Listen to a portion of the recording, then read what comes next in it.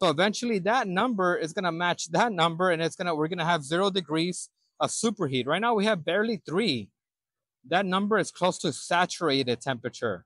So that's that's not good because we have a pretty low superheat. So right now the system, what it's trying to do is allowing less liquid to go through. Um, and you can actually saw it firsthand, right, with the TXV. Um, low uh, heat load, the TXV will pinch more and maintain that uh, superheat.